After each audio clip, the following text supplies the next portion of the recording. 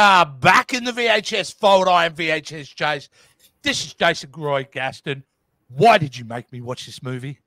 Because it's awesome. if you can't tell, if you can't read what's behind Jason right now, we are going full maximum overdrive. I love this movie. Man, okay, let's get into it. I, I, I discovered this sucker on VHS, and being a proud Aussie bogan back in the mid 80s, I loved nothing more than two things Stephen King books and ACDC. And I get them both rammed into this film. I have to tell you a story why I have such a strong emotional attachment to this movie. I saw this movie after uh, I was staying at my aunt and uncle's house, and as we did back in the 80s, we rented a whole lot of completely inappropriate R rated horror movies. This was one of them. And we sat down and watched them. I was probably like 12, and we had my cousin with us. I'm not going to say her name because she's a very highly respected uh, medical professional now. And I'm sure everybody would be like, oh my God, were you, the, were you that person that Jason was talking about? Uh, but she was itty bitty. She was probably like five or six. And we're watching this movie, and she's just she's just mesmerized by it. She doesn't understand anything that's going on, but she's mesmerized by all the cars that are that are driving. And at the end, Emilio Estevez faces off against the Green Goblin truck, and he's got a bazooka, and he says a line. The line is "Adios, mother trucker," but he doesn't say trucker. And then he shoots the bazooka and blows up the truck. Well, that happens, and she she starts going, "Adios, mother trucker! Adios, mother trucker! Adios, mother trucker!" And she just starts saying it, and of course, we're laughing, and that just makes her say it more. But you know, aunt and uncle, they're they're not into that kind of stuff. So we tell her, shh, shh, shh you don't need to say that. The next morning, my uncle is leaving for work. He walks through the he walks through the living room where we're all just like laid out like Jonestown, just you know, because we're that's how kids slept back then. And he says, Arrivederci, everyone. And from this pile of kids, this little girl gets up and goes, Adios, mother trucker. and my uncle was a big man. He was he was a very, very large man, but he he just goes, Linda calling for his wife. But we we I'm, still I'm we secretly still her hoping now. I'm secretly hoping that when she finishes seeing her her clients now, well, Mr. Smith, your blood test results have come back. We'll uh, see you next time. Uh, thanks, Doc. Adios, mother trucker. Could be a call sign. Maybe she's famous for it now. Oh, it it has been uh gosh, it's been like 35 years since then and we still we still had hey do you remember whenever you said this? She's like i don't remember any of that. I think you're all just making it up. No we aren't making No. it up. So yes i have a very strong emotional connection to this movie because my aunt and uncle are gone now and um yeah i just i love this well, movie. love it. This film is so like it, it became a cult film, as we know. Everyone kind of loved it, even though Stephen King doesn't really himself. But it's such a Stephen King thing, and, and I say that because it's it's what Stephen King is famous for is a very simple, silly concept and bringing horror to it. If you think about like all of most the Langoliers, Pac-Man eating, you know, reality to maximum overdrive with with the conceit is there's a comet, every all machines have come alive. That is the the exposition you get early on. Yeah, Stephen King makes movies, or Stephen King tells stories the way that Pixar tells stories. Pixar tells stories like, what if toys had feelings? What if what if monsters had feelings? What if feelings had feelings? Stephen Yeah. King just gets on there and goes, What if clowns wanted to kill you? What if a Yeah. classic car wanted to kill you? What if a truck wanted to kill you? What if a dog Yeah. wanted to kill you? And and that's it. What if there was a shop and you bought things and they did bad things like And they wanted to kill you. yeah, they're very simple in concept, but what makes it work, what makes Stephen King stuff work so well is his character development. It's the characters that populate his stories are usually really well defined. You know, I can still remember passages from the book Thinner because that Mm-hmm. character, I remember just being absorbed with it. Plus, being a little fat kid is a great. It's great to have a story about a guy who just loses weight. I'm like, like, where's a gypsy? As soon as I got my license, I was trying to run down gypsies. Um, but nevertheless, this is this idea, and it is goofy concept. But the way the buy-in is immediate with this with me, because once you go, all right, I'm in. All right, all the I have no idea why the machines are alive, but they're alive. It just starts with this great kind of little montage, uh, which you just showed a picture of with Stephen King, who plays ATM Man, I believe. Yes. Um, Um, Yes, No, ATM no. Man. I I will say um, Stephen King actually doesn't remember much about directing this movie. I'm trying to think Yeah. of I'm trying to think of a Deadpool and Wolverine way of putting this. Um, he wanted to build a snowman. that's right. Yeah, It was a blizzard. yeah, it was uh Forest It was a- Bump. Um, It was straight powder. Yeah, white girl interrupted. He Well- was into all that. he was into it because uh, the budget was nine million. Do you want to build a snowman? But I suggest six million of it was used for, for yeah, for Peruvian marching powder. Either I way, have an idea. A truck wants to kill me, and it's got the Green Goblin's face on it. Oh my god! it is based on one of his short stories called Trucks. Very loosely based on that. That sounds like a sequel to Cars. Yeah, yeah. And uh, but the idea of it, um, Oh my It's- gosh! it, Cars it's so is a- grand. Sorry. Cars is a sequel to Maximum Overdrive. Could be, eh? The the Could be. machines killed all the humans, and now they populate the world. It could be. My gosh, I'm a genius. Um, this. fi- Oh, by the way, you know what? Screw. I'm jumping to the end. The epilogue of this movie made me laugh so hard. it's the best because the the epilogue explains, and anyone who's watching this has clearly seen it. If you haven't seen it, go watch it. It's it's ridiculous in the best way possible.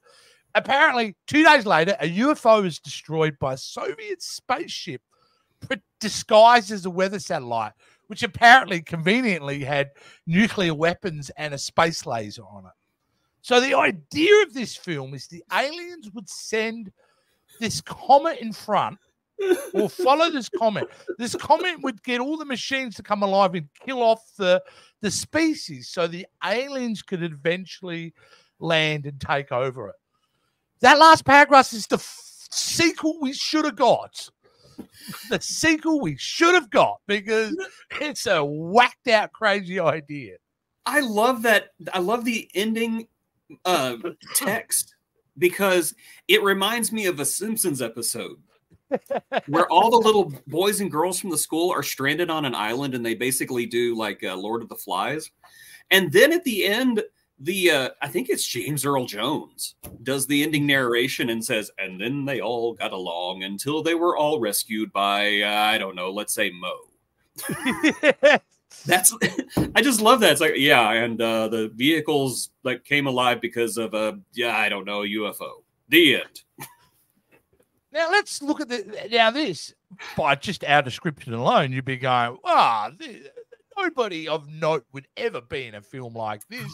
Wrong. Contraire, contraire, yes. Wrong. We we have we have quite the star-studded cast here, starting out with Mr. Emilio Estevez. Hey, at a time where Emilio was on fire, he was on every boy uh, girl magazine you could think of. He was had already been in Breakfast Club, Repo Man, The Outsiders. This kid was big even at this point. Yes. Yes, he was. I have a cast list here somewhere. I had I've it. to, I can go through it. Uh, Okay. the great Pat Hingle. oh yes, Commissioner Gordon. Commissioner Gordon, who played, he was he was really good in this. He's really really good in this. He Great character, despicable And a- human being. and apparently a very close friend of Clint Eastwood's, or was. Oh, really? Oh, okay. Yeah, I just remember he's like- him, him, and uh, Alfred Goer are like the only ones who stuck around for all of the original run of the Batman movies. Yeah, Everybody else just noped out, was like, uh, uh. yeah, yeah. They're like Schumacher's paying. Who cares? So Um, we we have a uh, we have a before he was a star appearance in this movie that we just found out about right before we started filming. And I was like, oh Right my gosh, I gotta put it, I gotta put his picture in there. So I'm gonna put this picture up, and if you don't know Mhm. who this person is, I want you to just take a few seconds to try to guess who this future icon is. Who He's could this very be? he's very good looking there. Very attractive. But he's also very Yes, attractive yes, now. and undoubtedly. Yes, yes, he is, and uh, he gets all kinds of accolades, and he's a, he's just appearing everywhere. He was Breaking Bad. He's in Star Wars.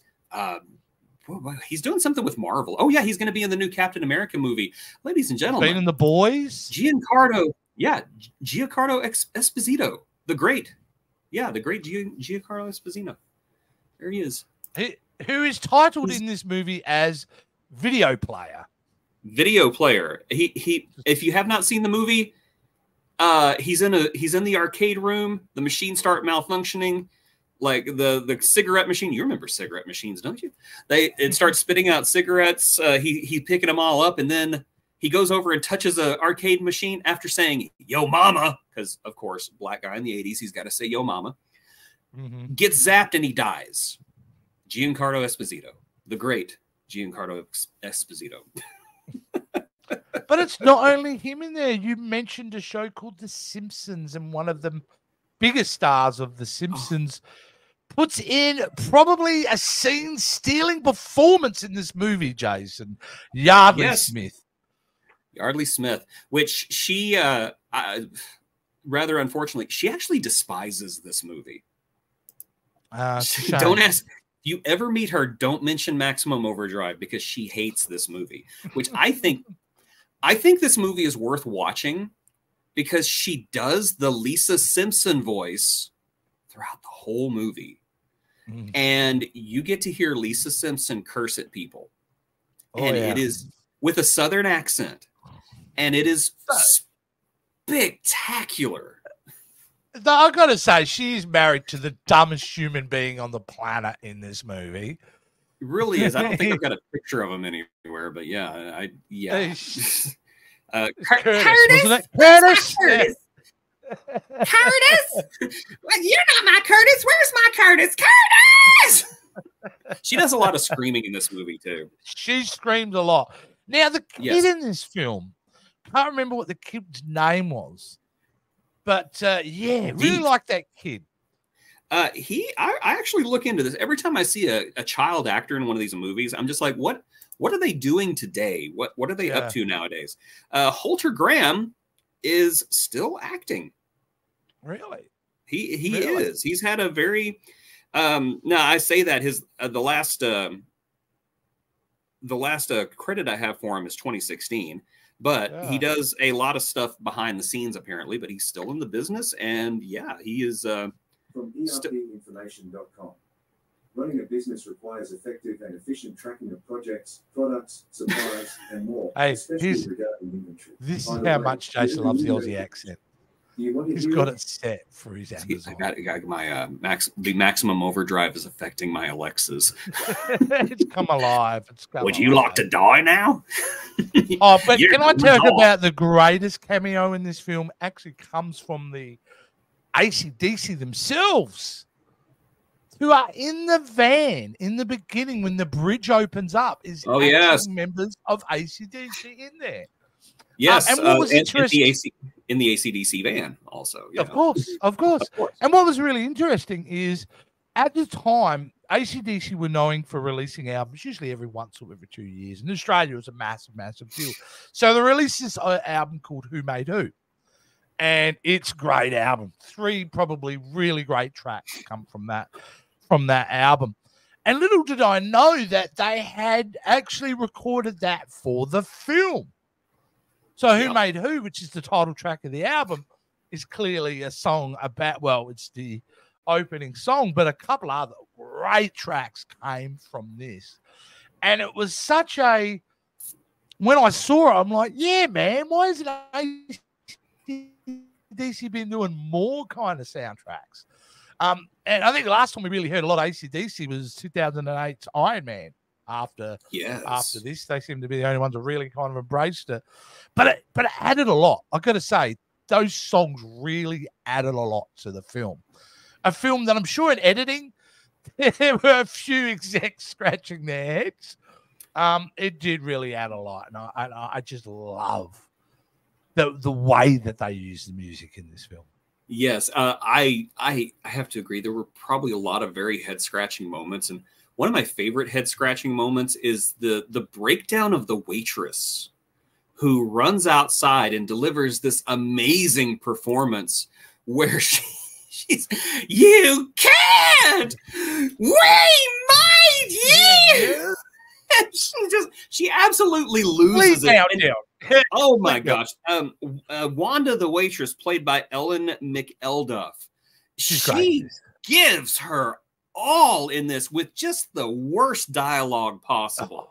She commits to it. I know that is the one part of the movie that everybody makes fun of is the way my yeah.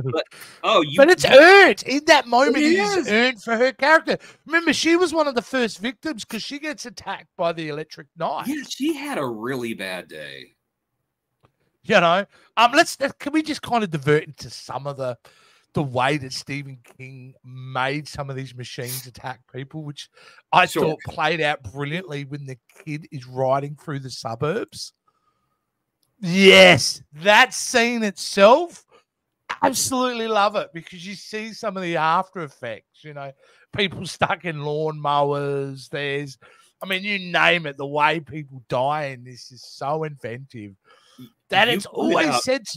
You on. pointed out something earlier about an actress who appears in this movie who got a little bit of notoriety earlier, uh, later in life. Ah, yes, we do have. we do have. Now she's listed in the cast as woman number two. Would be Marla Maples, which happened to be Trump's number two there for a little Yes. bit. So you know, a um, little bit decided of to get handsy on anything that's got a heartbeat. um, but yeah, she she probably it's probably the highlight of her life because surely being married to Trump wasn't a highlight, but certainly being part of this film. You blink and miss it though. You blink and miss it with her in it. See, But I didn't even know she was in this movie until you said it. I was yeah, like, oh, I mean, she I would have don't- been a model back then. I would say. I would say this was prior. So I'm gonna be honest. I don't even remember what Marla Maples looks like. yeah. I have no idea. I'm pretty No, sure she no. doesn't remember what she looks like. No, no, yeah, yeah, absolutely. Um, Ah, yes, Did Maximum Overdrive. I think I was I think I was married to somebody who was in that movie. Uh, the woman who sounds like Lisa Simpson. Was that her? My Trump impression is terrible. Do you know we've been talking connections with the Simpsons? Did you know that in the episode Maximum Homer Drive back in 1999 of The Simpsons, where Homer takes a truck driver's delivery and finds out that his truck is controlled by an onboard computer, Yeardley Smith, who plays Connie in the film, is the voice of Lisa Simpson in the show. So this film and pop culture has made an imprint. And you know you've made an imprint in pop culture if you're referenced by the Simpsons. Absolutely, it's a it's an Ouroboros. Maximum Overdrive, starring a Simpsons character, goes Yeah. on to be made fun of on The Simpsons. That stars the same person. I love the the cyclical nature of things. We need to cue up George Lucas right here saying it's Yeah. cyclical. It, it- it- it's poetry. I wonder how they got um, the release to use the great the Green Goblin's face in the front of the truck. I suppose that was the time when Marvel was just giving away rights to everything, right? They I'm assuming so. Um, they actually, I mean, let's take a look at it.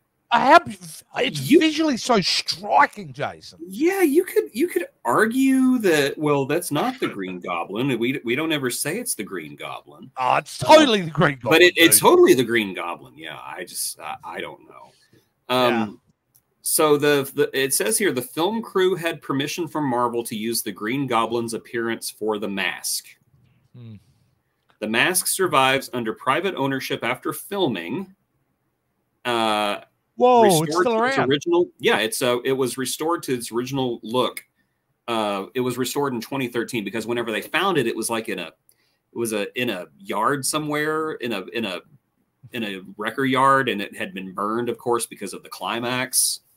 Yeah. And yeah, it was lovingly restored. So yeah, it still exists today. It's a really great marketing ploy to have that. And the, the other thing that I think is really smart about it that it was a simple way to establish that that was the leader of that certain band of alive machines. Like in a way, it kind of helped, um, you know, make it a bit more like real in a way. I don't know the word I'm looking for. It's Um, it's um the oh my gosh. It's the same reason why on the original Battlestar Galactica, the one who was in charge, the the Cylon who was in charge was always gold plated. Yeah. It's like, oh, Yeah. he's in charge, he's the most dangerous. And- So and yes, he's in charge, he's the most dangerous, and he's terrifying. Yeah. He is terrifying. and he's And, and the he's uh, guy's terrifying. low. Yes. Yeah. Um, and and it works well because you know what he's done is such a grand concept. And in these days, if you were to make maximum overdrive, they would make it way larger in scale. Right. Oh, You'd be seeing things happening all over the world, right? Big CGI shots. But the fact that they don't go that way, probably out of necessity, but the fact that we keep it so contained in that truck stop just makes it claustrophobic in a really effective way. Um, and you know, and where we get to deal with the characters. By the way, that actress who I cannot remember the name of her for the life of me, felt like she'd only in one or two more things. She was serviceable in this. Laura Harrington. Laura Harrington.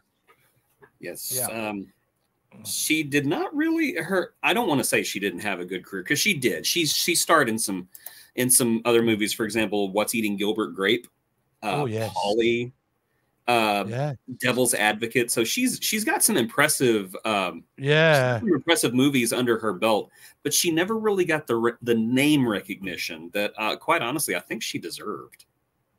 Yeah, well, you know, who knows what this film did to people's careers? Besides, obviously, Emilio, who probably would have had seven films lined up in advance before he took this Yeah. one on.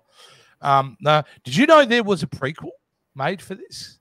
Was there? Old Trucks, which aired on the USA Network on October 29th, 1977, apparently.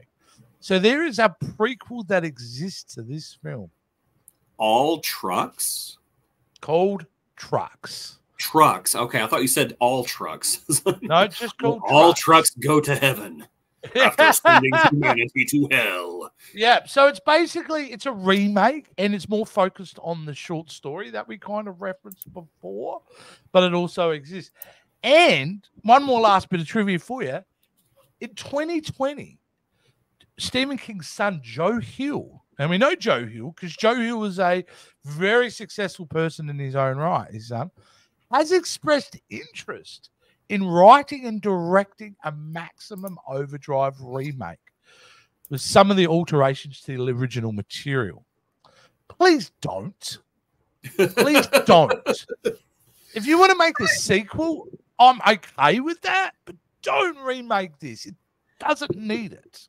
You know, quite honestly, though, I think there's potential for a remake because we are living in an age where we are getting honest to goodness self driving vehicles. So, I mean, and and I know that there's lots of proposals to make trucks self self driving. So, yes. what if the trucks get skynetted and they decide to, you know, let's stomp on Oh, all the you gotta you gotta have an Elon Musk type of supervillain, don't you? You've gotta have you've got to have something like that, don't you? Um, it's just crazy. Um, look, this film is just if you try to sit there and break it down and fit all the logic together on why didn't they just do this? Why didn't they just do that? It'll drive you insane because there are multiple occasions in this film that they could have easily got away with a very smart, simple strategy. Um, but they don't, and I, I'm glad that they don't. And the the going through the tunnel underneath and that whole idea of it, leading to go to the jetty, which is great scene by the way, right at the end of the film. It all makes for a good drinking game. Like in this movie, you could watch it. Not not not I drink, but I can see you could have a lot of fun with this because it, it, it's a. This is a film that's I think gets better in a social environment. Maybe that's the better way to say it. Watching it with friends, watching it with people, because you can't watch a film by yourself without wanting to turn to somebody and going, "What was that?" you know, um, yeah, yeah. Like it's delightfully, delightfully bad, delightfully very much Stephen King. Just, just messy. I would say what it is. It's just messy. You know. I love it from beginning to end. It's an awesome movie. It's an underrated movie. I I adore this movie, and I know it's bad, but I adore it. Stephen King, I know you hate this movie.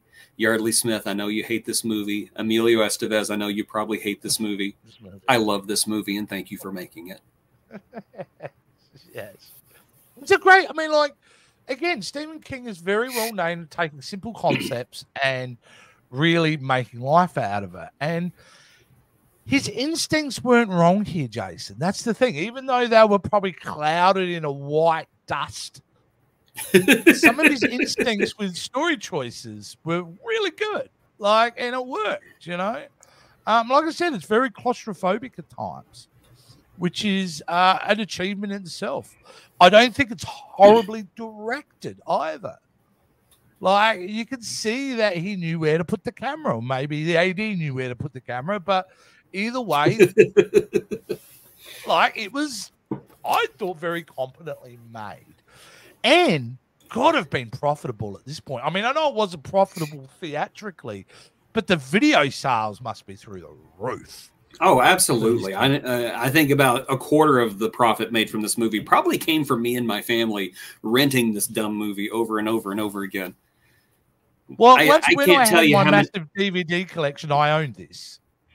Yeah. I cannot tell you how many times me and my family, me and my my cousins and stuff, we'd be in the car and we'd see a truck go by and we'd all go, chirp, chirp, chirp. Which incidentally, what a great musical cue. I remember the first time I heard that, I just thought, what was that? But then I'm like, chirp, chirp, somebody's gonna die. Yeah. Yeah, and it was it's a great music cue because of that, because it it gives them like like this guy's a killer. Mm. Like this thing is a killer. You know? Um which is never explained why all of a sudden that truck became the leader. Or how that because from my understanding, right, this Because thing just scary. makes this comment just makes everything alive. But by making him the leader, kind of says, well, they're a life form on their own. Even though they're supposed to be a weapon for the aliens to just wipe out the planet. This is where logic, you start to think about it, y- your nose is going to bleed sooner or later. Yeah, the So- logic logic does not belong in a in a critique of this movie. It's just basically was it fun or was it not? And it was. It was it very was much fun. Yes. It was fun, and it is. Uh, it was made for a budget of nine million dollars, and globally made back seven point four million dollars theatrically. Um, yeah, but you know, at the end of the day, That's, that's almost as You bad know, as Borderlands opening.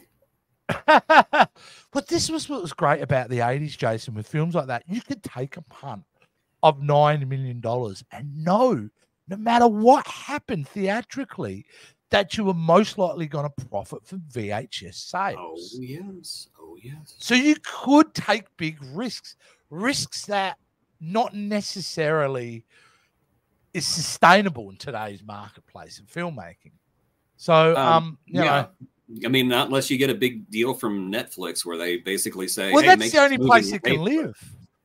Yeah. Isn't it? It's the only place it can Yeah. live is on streaming now, is where you can get that chance because you're not getting it theatrically. So, um, yeah, look, at the end of the day, this is a film that definitely wor- is worth having a revisit because being that it's full coming up to 40 years old, it's still very watchable.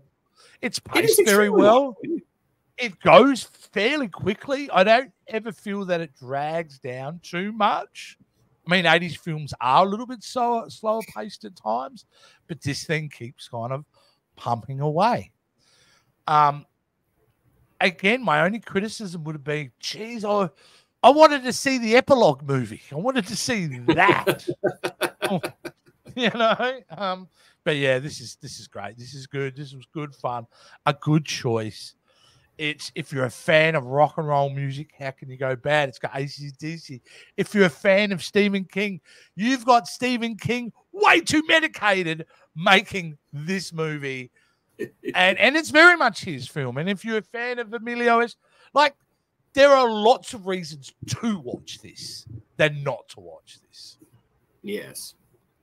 You know, I'm I'm looking on here because I'm I'm curious how much it's made from from sales of of VHS and DVD and everything.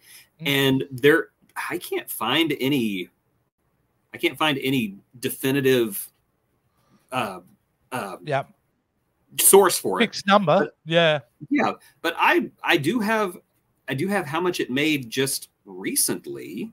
Oh, yeah. where Go ahead. Where did it go? Hold on. So video sales Yeah. June 4th, 2023.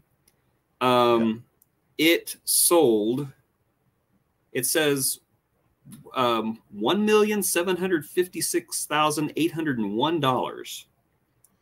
So and that's just from a month. that's just from a month. So yeah, I would say this thing has probably turned a profit by now. Well, it would probably been on repeat on the cable. Oh yeah. Like, yeah, it would have been syndicated and sold on cable. And then you've obviously got the uh like the big DVD boom when everything was re-released on DVD and we all bought every DVD ever printed, especially in the early 2000s. You know it made bank then because movies that made no money when in release all started making money in that period because they released them on DVD.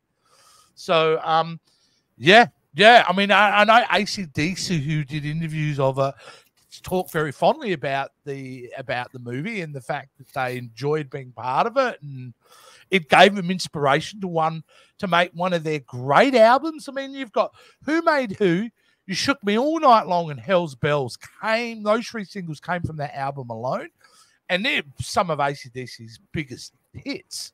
So, like, there's a lot to win about it. I, I, I thank you for making me watch this again because I Oh, did have a welcome. blast. what, what do you think? Uh, what do you think Stephen King's original uh, reaction was whenever they told him he directed a movie? did, I did I, I I did what? what? I did what? Also, you wrote What? the second part of it. I wrote the second part of it. Wow, really? Oh my god! Don't tell me this thing has not gone to print. Oh, why did I write that? And if Those you think that about read the the know time exactly which part of the book I'm talking about.